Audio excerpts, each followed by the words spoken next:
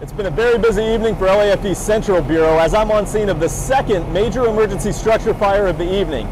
This two-story craftsman-style single-family dwelling was well involved with fire when firefighters first arrived on scene.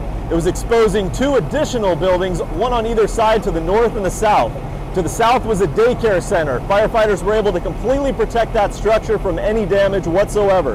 To the north, the fire was already impinging on another two-story single-family dwelling, but firefighters were able to prevent the spread of that fire throughout the building, and it sustained minor exterior damage only.